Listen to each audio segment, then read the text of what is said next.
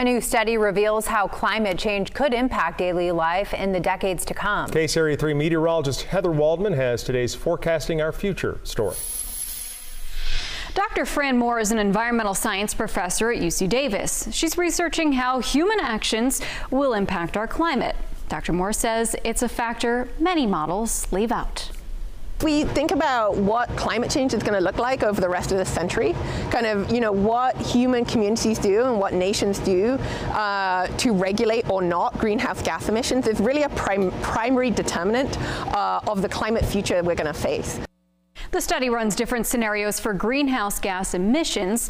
Dr. Moore says she was surprised and encouraged to see the results we're really able to put much lower probability on these pretty bad outcomes of two, three, three and a half, or four degrees of warming by 2100, and put much higher probability math on this range of kind of two to three degrees. But of course, two to three degrees Celsius of warming still comes with major impacts that we will need to adapt to. She says it's a major challenge to tackle social and political issues like this on a global scale, but the study showed relatively promising results about the actions that people will take going forward.